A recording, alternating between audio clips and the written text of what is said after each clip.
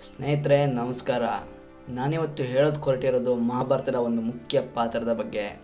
ಒಬ್ಬ ದುರಂತ ನಾಯಕನ ಕತೆ. ಅಸಲಿಗೆ ದುರ್ಯೋಧನನ ಜೀವದ ಗೆಳೆಯ. ಬಿಲ್ವಿದ್ಯೆಯಲ್ಲಿ ಅರ್ಜುನನನ್ನೇ ಮೀರಿಸುವಂತಹ ಅಪ್ರತಿಮ ಪರಾಕ್ರಮಿ. ಕೊನೆಗೆ ಕೃಷ್ಣ ಅರ್ಜುನರ ಮೋಸದಿಂದ ಪ್ರಾಣ ತೆತ್ತ ದಾನ, ಶೂರ ಕರ್ಣನ ಬಗ್ಗೆ. ಅವನು ಕರ್ಣ, ಆತ ಕುಂತಿಯ ಮೊದಲ ಮಗ. ಪಾಂಡವರ ಹಿರಿಯಣ್ಣ ಪರಶುರಾಮರ ನೆಚ್ಚಿನ ಶಿಷ್ಯ. ದುರ್ಯೋಧನ ಆಪ್ತ ಮಿತ್ರ, ಅರ್ಜುನನ ಪರಮಶತ್ರು, ಭೀಷ್ಮರ ಕಣ್ಣಲ್ಲಿ ಸಿಡಿಮಿಡಿ ಉಂಟು ಮಾಡುವಂತಹ ಆಸಾಮಿ ಭೀಮನ ಪಾಲಿಗೊಂದು ಅಸೂಯೆ. ಕರ್ಣನೆಂದರೆ ಅಷ್ಟೇ ಅಲ್ಲ, ಆತ ದ್ರೌಪದಿಯಂತಹ ದ್ರೌಪದಿಯ ಎದೆಯಲ್ಲೂ ಆಸೆಯ ತರಂಗ ಎಬ್ಬಿಸಿದ ಸುರಸುಂದರಾಂಗ. ಕೊಡಗೈ ದೊರೆ, ಅಂಗರಾಜ, ಹುಟ್ಟಿನಿಂದ ಕ್ಷತ್ರಿಯನಾಗಿದ್ದರೂ ಎಲ್ಲರಿಂದಲೂ ಸೂತಪುತ್ರ ಎಂದು ಕರೆಸಿಕೊಂಡ ನತದೃಷ್ಟ ಮತ್ತು ಮಹಾಭಾರತದ ದುರಂತ ನಾಯಕ.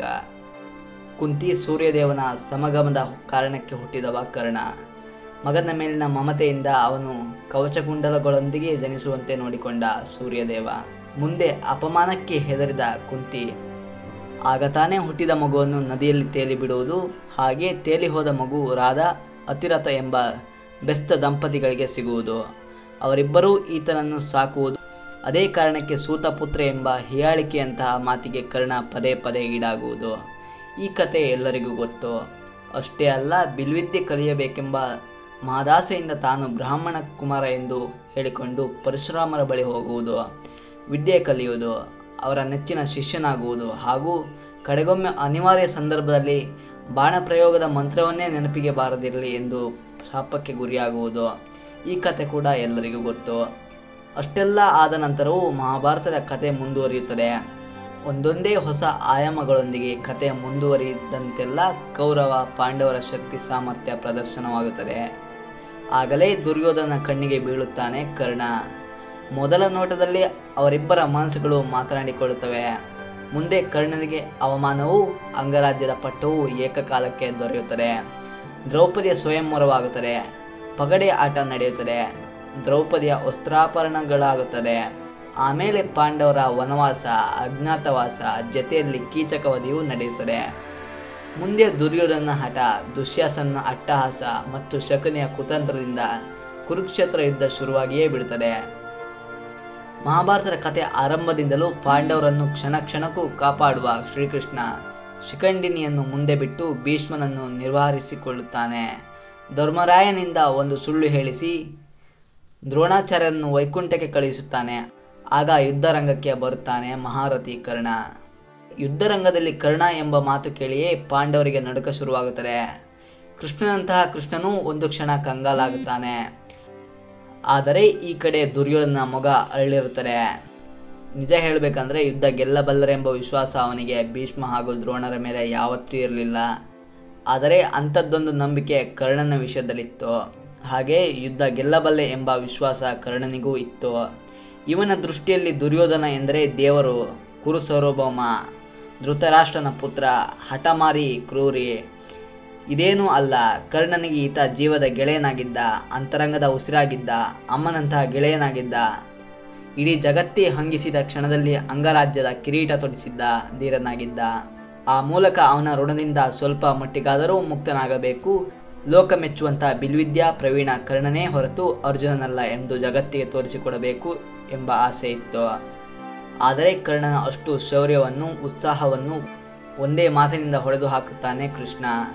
ಮೊದಲು ಕುಂತಿಯನ್ನು ಕಳಿಸುತ್ತಾನೆ. ಆ ಮಾತೆ ಕರ್ಣನ ಮುಂದೆ ನಿಂತು, ನೀನೇ ನನ್ನ ಮೊದಲ ಮಗ ಎಂದು ಅಳುತ್ತಾಳೆ. ನೀನು ಯುದ್ಧಕ್ಕೆ ಹೊರಟಿದ್ದೀಯಾ? ಗೆದ್ದು ಬಾ ಮಗನೇ ಎಂದು ಬಾಯಿ ತಪ್ಪಿ ಕೂಡ ಹೇಳಲಿಲ್ಲ. ಬದಲಿಗೆ ಪಾಂಡವರನ್ನು ಕೊಲ್ಲಬೇಡ ಎನ್ನುತ್ತಾಳೆ.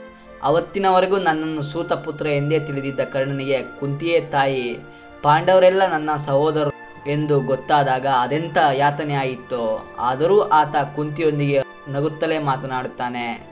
ಉಳಿದ ನಾಲ್ವರು ನನ್ನ ಗುರಿಯಲ್ಲ, ನನ್ನ ಗುರಿ ಏನಿದ್ದರೂ ಅರ್ಜುನನೊಬ್ಬನೇ ಎನ್ನುತ್ತಾನೆ.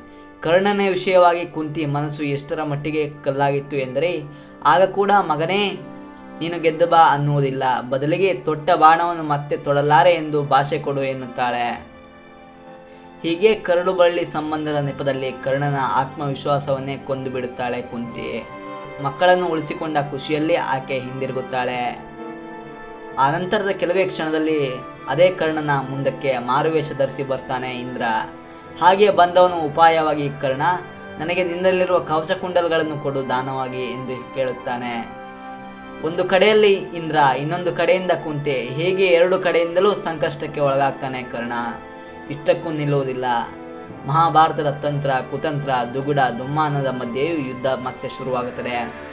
ಮೊದಲು ಕರ್ಣನಿಗೆ ಎದುರಾಗಿ ಧರ್ಮರಾಯ ಬರ್ತಾನೆ. ಅವನನ್ನು ಕಂಡಕ್ಷಣ ಕರ್ಣನ ಮನಸ್ಸಿಗೆ ಏನೋ ಹರ್ಷ. ಎಂಥದ್ದೋ ಸಂತೋಷ, ಯಾಕೋ ಸಂಕಟ. ಒಮ್ಮೆ ಧರ್ಮರಾಯನನ್ನೇ ಪ್ರೀತಿಯಿಂದ ನೋಡ್ತಾನೆ ಕರ್ಣ. ಇವನು ನನ್ನ ಸ್ವಂತ ತಮ್ಮ. ಒಂದು ವೇಳೆ ಪಾಂಡವರ ಜೊತೆಯಲ್ಲೇ ಬೆಳೆದಿದ್ದರೆ ಇವನನ್ನು ಎತ್ತಿಕೊಂಡು ಆಟ ಆಡಿಸುವಂಥ ಸಂತೋಷವನ್ನು ನನ್ನದಾಗಿರುತ್ತಿತ್ತು ಎನಿಸುತ್ತದೆ ಮನಸ್ಸಿಗೆ. ಆದರೆ ಈ ಕಡೆ ಧರ್ಮರಾಯನಿಗೆ ಯುದ್ಧ ಗೆಲ್ಲುವ ಸಂಭ್ರಮ. ಆತ ನಿಂತಲ್ಲೇ ಇರ್ತಾನೆ ಒಂದರ ಹಿಂದೊಂದು ಬಾಣ ಬಿಡುತ್ತಾನೆ.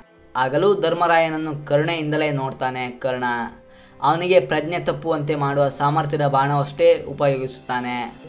ಆ ನಂತರದಲ್ಲಿ ಕರ್ಣನ ಮುಂದೆ ಭೀಮ ಬರ್ತಾನೆ. ಅದೋ ಹೇಗೆ ಏನೋ ಸೂತ ಪುತ್ರ ಏನೋ ಬೆಸ್ತ ಎಂದುಕೊಂಡೇ ಬರ್ತಾನೆ. ಈ ಸಂದರ್ಭದಲ್ಲಿ ಕರ್ಣನ ಮನಸ್ಸಿಗೆ ಅದೆಂಥ ಸಂಕಟವಾಗಿರಬಹುದು ಅಂದಾಜು ಮಾಡಿಕೊಳ್ಳಿ. ಆಗ ಕೂಡ ತಾಳ್ಮೆ ಕಳೆದುಕೊಳ್ಳುವುದಿಲ್ಲ ಕರ್ಣ. ಭೀಮನನ್ನು ಮಾತ್ರವಲ್ಲ, ನಕುಲ ಸಹದೇವರನ್ನು ಕೇವಲ ಗಾಯಗೊಳಿಸಿ ಪ್ರಜ್ಞೆ ತಪ್ಪುವಂತಷ್ಟೇ ಮಾಡಿ ಅವರ ಜೀವವನ್ನು ಉಳಿಸುತ್ತಾನೆ ಕರ್ಣ.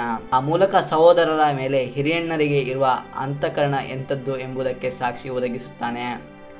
ಮುಂದಿನ ಕಥೆ ಎಲ್ಲರಿಗೂ ಗೊತ್ತಿದೆ. ಕರ್ಣಾರ್ಜುನರ ಮುಖಾಮುಖಿಯಾಗುತ್ತದೆ. ಸುಮಾರು ಹದಿನೆಂಟಿಪ್ಪತ್ತು ವರ್ಷಗಳಿಂದ ಕರ್ಣನ ಮೇಲೆ ಅರ್ಜುನನಿಗೆ ದ್ವೇಷವಿರುತ್ತದೆ. ಅವನನ್ನು ಸೋಲಿಸಬೇಕೆಂಬ ಆಸೆ ಇರುತ್ತದೆ. ಅಂತ ಕಡು ವಿರೋಧಿ ಈಗ ಕಣ್ಣೆದುರೇ ಇದ್ದರೂ ಅವನ ಮೇಲೆ ಬಾಣ ಪ್ರಯೋಗನಿಗೆ ಮನಸ್ಸೇ ಬರುವುದಿಲ್ಲ. ಮನದ ಯಾವುದೇ ಮೂಲೆಯಲ್ಲಿ ಪ್ರೀತಿ ಚಿಗುರುಡೆಯುತ್ತದೆ. ಕಣ್ಣು ಕರಳು ಮಾತನಾಡುತ್ತಿರುತ್ತವೆ. ಈ ಸಂದರ್ಭದಲ್ಲಿ ಅರ್ಜುನನೇ ಪುಣ್ಯವಂತ. ಆತ ಮನದ ಅಷ್ಟು ತಳಮಳಗಳನ್ನು ಕೃಷ್ಣನೊಂದಿಗೆ ಹೇಳಿಕೊಳ್ಳುತ್ತಾನೆ. ಕೃಷ್ಣ ನಿಜ ಹೇಳು, ಯಾರಿವನು ಕರ್ಣ ಎಂದು ಪದೇ ಪದೇ ಪ್ರಶ್ನೆ ಹಾಕುತ್ತಾನೆ. ಹ್ಮ್ ಕೃಷ್ಣ ಪರಮಾತ್ಮ ಆಗಲೂ ಗುಟ್ಟು ಬಿಡುವುದಿಲ್ಲ. ಬದಲಿಗೆ ಕಪಟ ಉತ್ತರದಿಂದಲೇ ಅರ್ಜುನನನ್ನು ದಾರಿ ತಪ್ಪಿಸಿ ಬಿಡುತ್ತಾನೆ. ಪಾಪದವನು ಕರ್ಣ, ಬದುಕಿನ ಕಡೆಗೂ ಕ್ಷಣದಲ್ಲಾದರೂ ತನ್ನ ಮನದೊಳಗಿನ ನೋವು, ತಳಮಳಗಳನ್ನು ಯಾರೊಂದಿಗರೂ ಹೇಳಿಕೊಳ್ಳುವ ಯೋಗ ಅವನಿಗಿರಲಿಲ್ಲ. ಎಲ್ಲ ಸಂಕಟಗಳನ್ನು ಎದರೊಳಗೆ ಹಿಂಗಿಸಿಕೊಂಡು ತಮ್ಮನೆಂಬ ಮಮಕಾರವನ್ನು ಅಂಗೈಲಿ ಬೆಚ್ಚಗೆ ಹಿಡಿದುಕೊಂಡು ಕೃಷ್ಣನಿಗೆ ಮನದಲ್ಲೇ ಕೈ ಮುಗಿದು ಸರ್ಪಾಸ್ತ್ರ ಪ್ರಯೋಗಿಸುತ್ತಾನೆ ಕರ್ಣ.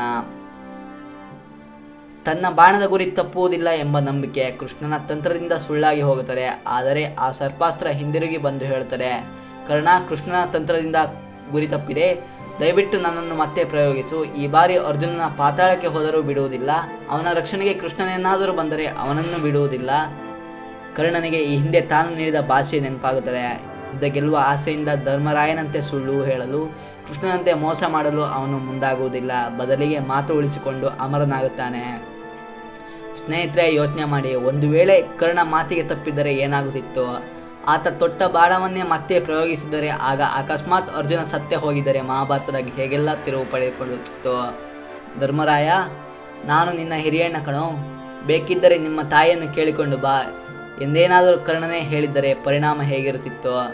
ಕರ್ಣನೇನಾದರೂ ಮನಸ್ಸು ಬದಲಿಸಿಕೊಂಡು ಪಾಂಡವರ ಪಾಳ್ಯಕ್ಕೆ ಹೋಗಿಬಿಟ್ಟಿದ್ದರೆ ಭೀಮನ ಖುಷಿ ಎಷ್ಟಿರ್ತಿತ್ತು? ದುರ್ಯೋಧನ ಪಾಡು ಏನಾಗ್ತಿತ್ತು? ಆದರೆ ಇಂಥ ಯಾವ ಪವಾಡಗಳು ನಡೆಯುವುದಕ್ಕೆ ಮಹಾಭಾರತದಲ್ಲಿ ಅವಕಾಶವಿಲ್ಲ. ಕರ್ಣ ಮಾತಿಗೆ ತಪ್ಪದೆ ಅಮರನಾಗ್ತಾನೆ. ಆನಂತರವೂ ಕತೆ ಮುಂದುವರಿಯುತ್ತದೆ, ಮುಗಿಯುತ್ತದೆ. ಮಹಾಭಾರತ ಮುಗಿದ ನಂತರವೂ ಕರ್ಣ ತುಂಬ ನೆನಪಾಗ್ತಾನೆ. ಇದೇ ಕಾರಣಕ್ಕೆ ದಾನ ಶೂರ ಅಂತ ಆಗಾಗ ನಮಗೆ ನೆನಪಾಗೋದು ಕರ್ಣ. ನಿಮ್ಗೇನಾದರೂ ಈ ವಿಡಿಯೋ ಇಷ್ಟ ಆಯಿತು ಅಂದರೆ ವಿಡಿಯೋಗನ್ನು ಲೈಕ್ ಮಾಡಿ, ಹಾಗೆ ವಿಡಿಯೋ ಹೇಗಿತ್ತು ಅಂತ ಕಮೆಂಟ್ ಮಾಡಿ.